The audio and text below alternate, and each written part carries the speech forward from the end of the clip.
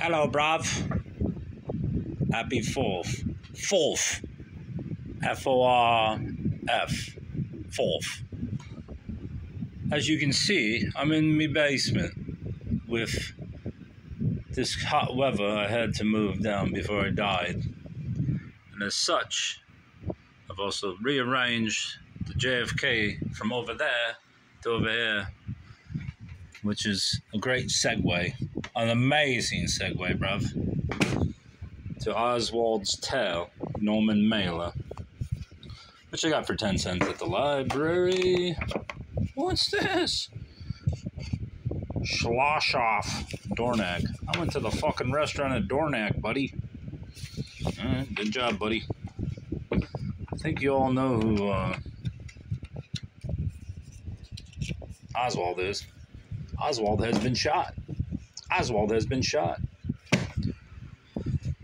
I like it down there. I got my little fan going, my Miracle Whip jar, my milk crates to keep everything off the floor.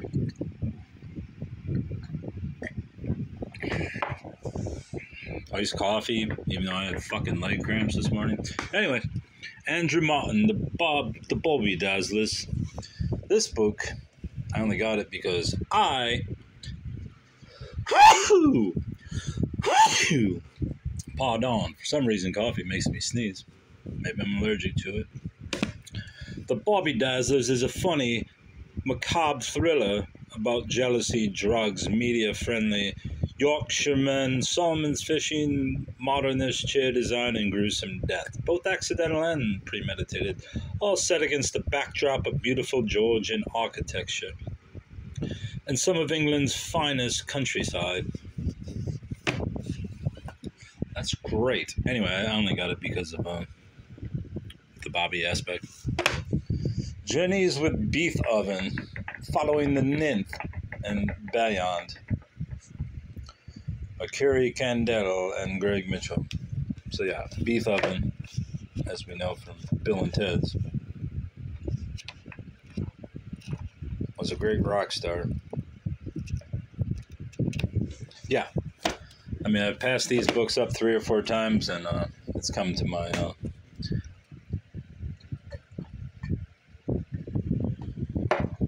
I came to the conclusion that no one's ever buying Journeys with Beef Oven or the Mozart myths. There's Mozart skull. Hey Mozart. Mozart, as they call him. Creepy looking little dude. Wasn't he born in Kentucky? Didn't I see that somewhere? That fucking guy was born in Kentucky. born in Kentucky. Maybe I read that wrong.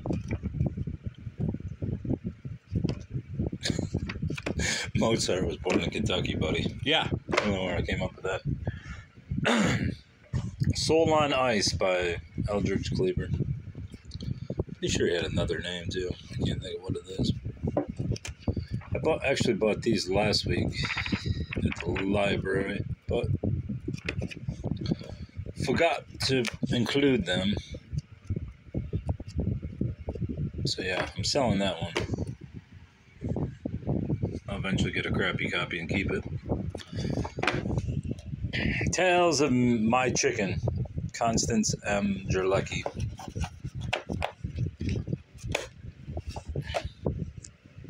The life of George N. Smith, a pioneering missionary. The story of Detroit's once proud status as stove capital of the world. The fiery head-on collision of two passenger trains at Battle Creek.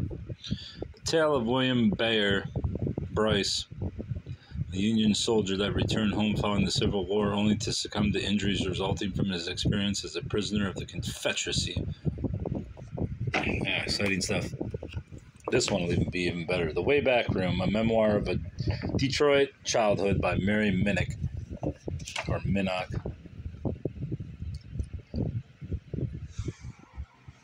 Mary, Mary, so quite contrary. She's cute.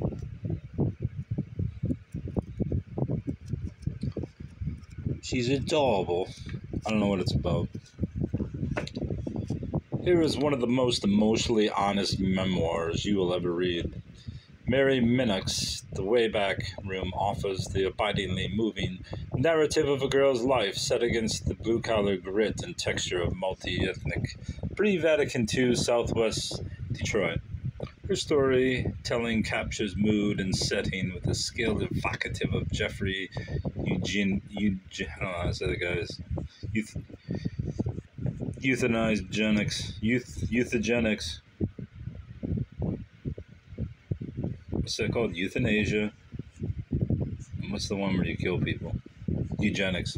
We just call them euthanizing eugenics. Jeffrey Eugenides, and with the lyricism of Philip Levine. I hate Philip Levine. That wasn't the right one. The Anatomy of Satire by Gilbert Highet. Obviously, it's about satire, diatribe, parody. Sounds like an interesting book. Probably not worth jack squat, but mm, when does that ever stop me? Little table. Hello from Heaven. Have you been contacted by a loved one who has died? No, I have not. Then again, do I really love anyone who is dead? Probably not. So I can't really say I've been contacted. Anyway, this book, and it's really crazy because the other night when I was driving home, because I bought these books yesterday, but I got busy cleaning up this shit building my shelves, sprucing stuff up, piling boxes upon boxes to make to keep all paper off the floor because this floor, as you can see, even though they painted it a few years back before I moved in, retains moisture because it's a basement. That's why I'll never put carpet or anything down there. Anyway, driving home from work at one something in the morning,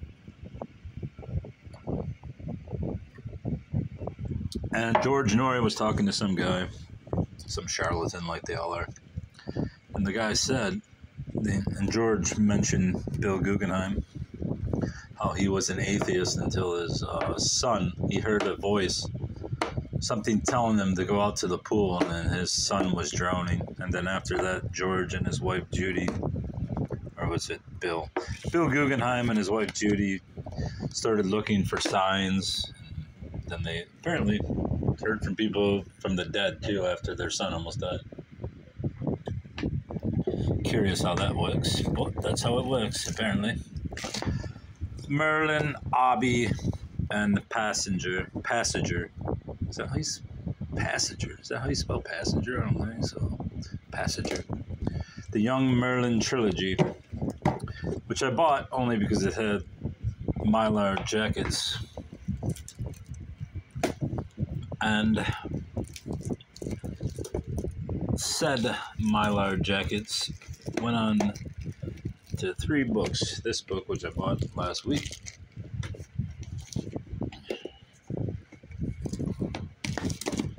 Terrell Murders, which I bought quite a bit ago, and not particularly happy with the mylar jacket, but it's covering the thing, and that's all that matters. As you can see there was a hole in the back of the fucking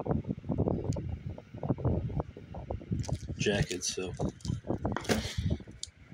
Then Incarnation, which is part of a trilogy of books by a woman named Edith Ellis, who claimed that she was contacting Wilfred Brandon from death from beyond beyond our living sphere. Let's get the exact term it's kind of funny. Not funny, but funny like a clown.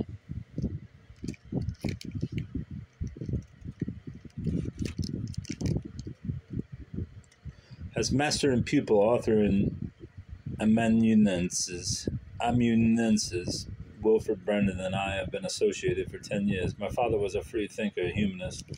Where is the. I think it says it in here. The automatic transcription is by Edith Ellis, who writes this book by the author of the Open the Door. Open the Door is the first in the series. I have not tracked that one down. I bought these two, but I will get on to that part in a minute.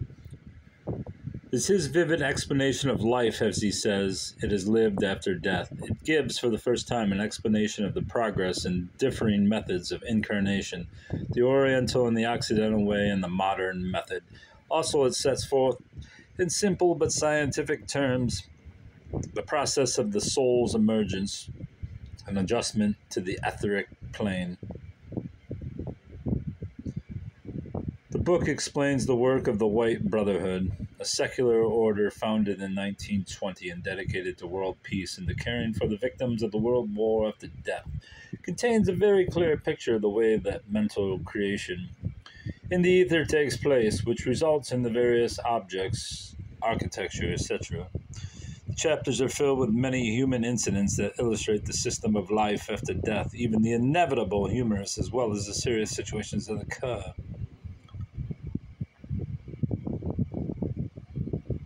I believe Bill's dead. Is it Bill?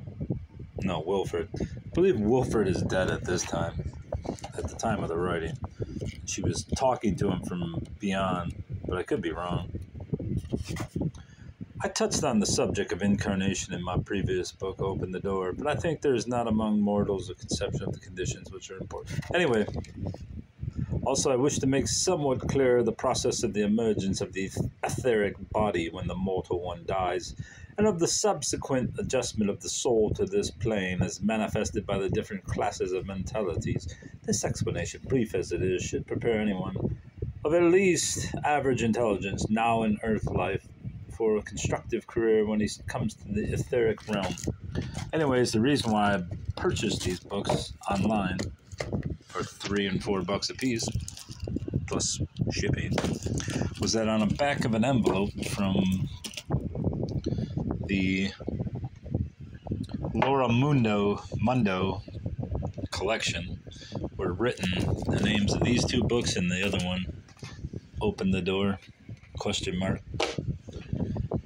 and i will open that door but i'm also in contact with laura mundo's great niece who happens to have her aunts, her aunts, great aunts. Maybe it's her great great aunt, whichever. She happens to have her self published autobiography and sent me it in its entirety. So I'm reading that, which is bizarre because it deals with poop and pee and sexual things as you as you would imagine, the story begins with childhood, which she goes on and on about for twenty some pages.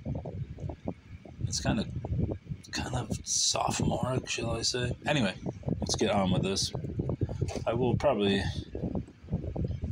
do something about that. Maybe perhaps even read the entire book on an audio track because my voice is just so conducive. The love poems and sonnets of William the Shakespeare.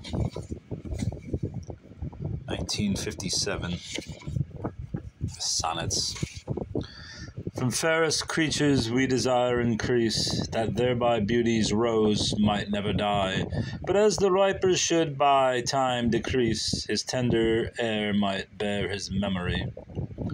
But thou, contracted to thine own bright eyes, feedst thy light's flame with self substantial fuel, making a famine where abundance lies, thyself thy foe, to thy sweet self too cruel, thou that art now the world's fresh ornament, and only herald to the gaudy spring, within thy own bud buryest thy content, and thy tender churl makest waste in nicotine. Whoa, whoa, I'm fucking cancelled.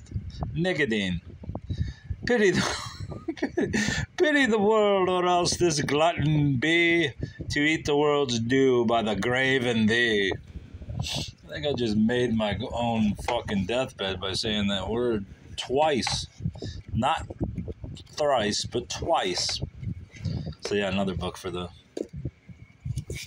Shakespearean. Cobb by Al Stump. The most powerful baseball biography I have read by Roger Kahn, author of The Boys of Summer. I've had this book a few times and sold it just as many times.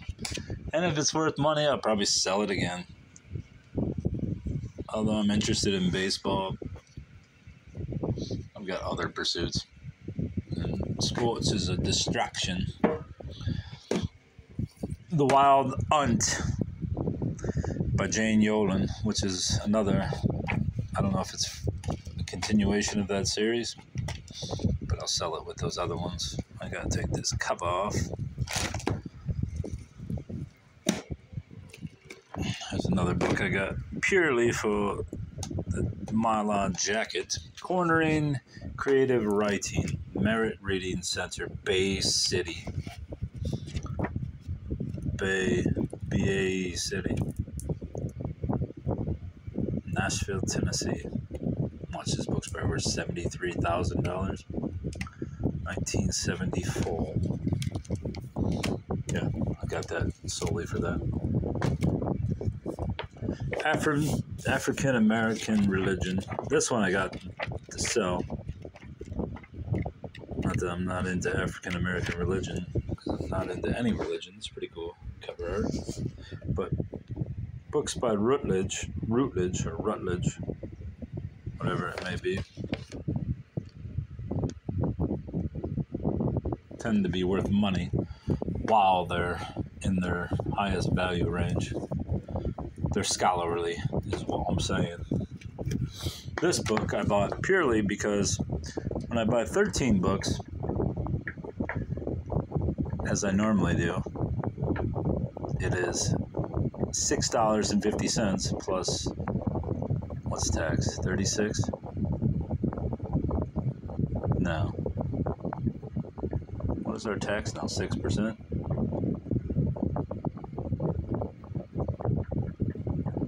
It'd be thirty six cents. Dude, why am I fucking failing here? Twelve dollars sixty six fifty plus thirty six cents. Or is it only thirty four cents? Either way, it comes out to like three or six eighty something. And they always say, Hey, you wanna round up? So I got this book for free because I would have normally rounded up. If I wouldn't have bought if I would have bought 14 like I wanted to, I would have had to give them like 90 cents to round up or 60 cents. But instead, I went to 15 to make it $6.95 or $7.95. Is that right? Yeah, $7.95. So then I only rounded up 5 cents. And I got a free book about fucking birds. How does that feel? Gwen Fostick these books, surprisingly, these little Michigan Happy Thoughts books by a woman named Gwen Frostic are seemingly worth money, even though they're just powder puff poems. But I guess maybe people like the woodcuts. I don't know. So I bought it because it was only 10 cents. And if it's worth anything, I will sell it. If not, it'll go in my Michigan collection. The original illustrated Arthur Conan Doyle suspenseful tales by the author of Sherlock Holmes, with all 236 illustrations from the Strand magazine. What the hell is this? Some bitch signed by Arthur Arthur Conan Doyle. Maybe he came back. Love Temb. Tim B. Tim.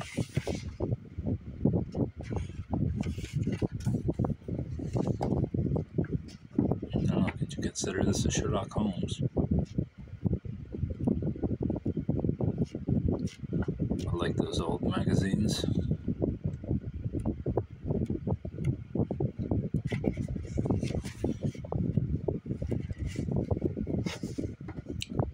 I don't know if any of these are Sherlock.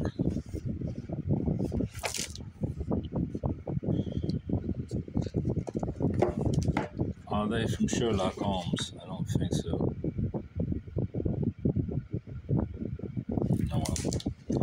They were. Close Encounters, man. I bought another guy, another guy, but another book by a guy who must have owned this book. Just scan through. Too wordy.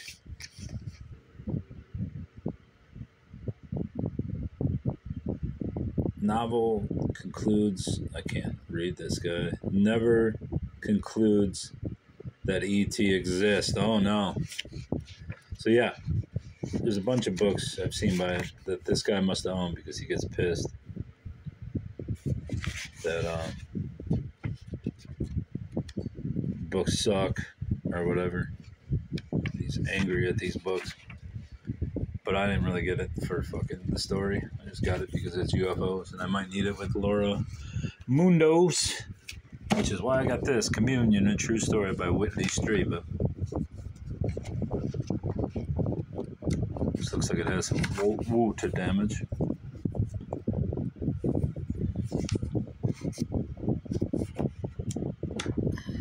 Anyway, it'll look nice in a dust jacket along with that one. Stonehenge complete. Everything important, interesting, or odd that has been written or painted. Discovered or imagined about the most ex- extraordinary ancient building in the world. A gift for Garth. Does it say Garth? Gabby? Gatsby? For matriculating all over the place in December 87. From Little Arnold to the prairie. Does that say the little little house on the prairie? No, what the fuck that says. I got this one for both the book itself and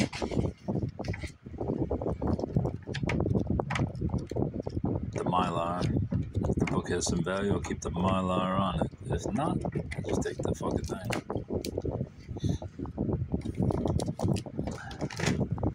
Geoffrey Chaucer's The Canterbury Tales. Selected, translated, and adapted by Barbara Cohen. Obviously, it's ex libris. Once near a wood in a valley, a poor old widow lived in a narrow cottage. It's about the widow that I'll tell you a story. It's about this widow that I'll tell you a story. Since her husband's death, she lived a simple life. She didn't have much money, but she didn't have many animals. But from what God gave her, she managed to support herself and her two daughters. She had three large sows, three cows, and a sheep named Molly. So, yeah, another book that I'll never read. Good times.